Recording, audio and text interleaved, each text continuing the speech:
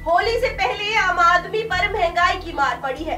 तेल कंपनियों ने कमर्शियल और घरेलू सिलेंडरों के दाम बढ़ा दिए हैं। बुधवार से गैस की नई दरें लागू हो गई है।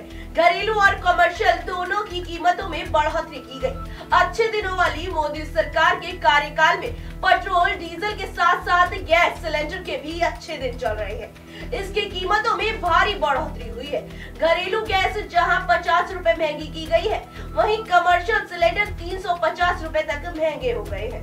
महँगाई से राहत की आस लगाए बैठी आम जनता को बड़ा झटका लगा है। घरेलू रसोई गैस सिलेंडर सीधे पचास रूपए महँगा हुआ है।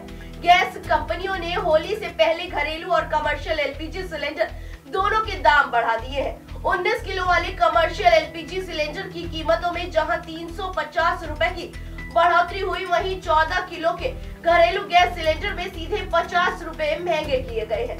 गैस कंपनियाँ हर महीने की पहली और 16 तारीख को गैस की कीमतें अपडेट करती है। पिछले महीने गैस के दाम में कोई बदलाव नहीं किया गया था। लेकिन इस बार मार्च की शुरुआत में ही कंपनियों ने महँगाई का बम फोड़ दिया है। पिछले काफ़ी वक्त से जनता महँगाई की मार से त्रस्त है। पेट्रोल, डीजल के दाम पहले से ही आसमान पर है और मोदी सरकार के कार्यकाल में एलपीजी सिलेंडर भी लगातार महँगा होता जा रहा है। आम आदमी को उम्मीद थी कि बजट में उसे महँगाई से मुक्ति दिलाने के कुछ प्रावधान हो सकते हैं, लेकिन ऐसा नहीं हुआ। उल्टा गैस कंपनियों ने एलपीजी सिलेंडर के दाम बढ़ाकर उसके जख्मों पर नमक छिड़कने का काम किया है। इस बढ़ोतरी के साथ पूरे देश में सिलेंडर महँगा हो गया है। अब तक दिल्ली में 14.2 किलो का घरेलू गैस सिलेंडर एक हज़ार तिरपन रूपए में मिलता था, जो अब ग्यारह सौ तीन रूपए का हो गया है। 19 किलो वाले कमर्शियल एलपीजी सिलेंडर की कीमतों में साढ़े तीन सौ रूपए की बढ़ोतरी हुई है। इसके साथ ही दिल्ली में 19 किलो के कमर्शियल सिलेंडर की कीमतें दो हज़ार एक सौ उन्नीस रूपए हो गई है। नई दरें आज यानी एक मार्च से लागू हो जाएँगी। आपको बता दें कमर्शियल एलपीजी सिलेंडर महँगा होने से, चाय से लेकर समोसे तक सबकी कीमतें बढ़ जाएँगी। छोटी चाय की दुकान से लेकर बड़े होटलों तक में 19 किलो वाले कमर्शियल इस्तेमाल होता है। जब भी इसके दाम बढ़ते हैं, बाहर खाने पीने की चीज़ें भी महँगी हो जाती हैं और एक बार जो दाम बढ़ गए, वो वापस नीचे नहीं आते। कमर्शियल सिलेंडर के दाम बीते कुछ समय से कई बार ऊपर नीचे हुए। दाम में कमी से क्या चाय समोसा सस्ता हुआ? निश्चित तौर पर नहीं, जिसका मतलब है कि 1 मार्च 2014 को दिल्ली में घरेलू गैस सिलेंडर चार सौ का था।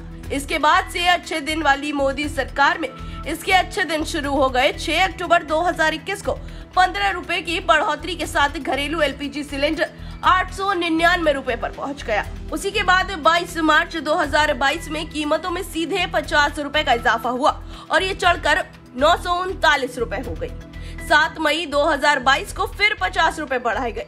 इसी के साथ सिलेंडर की कीमतें नौ सौ निन्यानवे रूपए हो गई 19 मई 2022 को गैस कंपनियों ने तीन रूपए बढ़ाकर डोमेस्टिक सिलेंडर के दाम को एक हज़ार के पार पहुँचा ही दिया। इसके बाद 6 जुलाई 2022 को पचास रूपए की फिर बढ़ोतरी के साथ कीमतें हज़ार तिरपन पहुँच गई है। अब यह ग्यारह सौ तीन रूपए हो गई है। कांग्रेस के नेतृत्व वाली यूपीए सरकार में एलपीजी गैस सिलेंडर पर सब्सिडी दी जाती थी, जिसे मोदी सरकार ने बंद कर दिया। 2014 में केंद्र में सत्ता परिवर्तन हुआ और अच्छे दिनों के फ़ायदे के साथ मोदी सरकार सत्ता में आई। सरकार ने एलपीजी सब्सिडी को लेकर बड़ा बदलाव किया। ये सब्सिडी सीधे कस्टमर्स के अकाउंट में भेजी जाने लगी।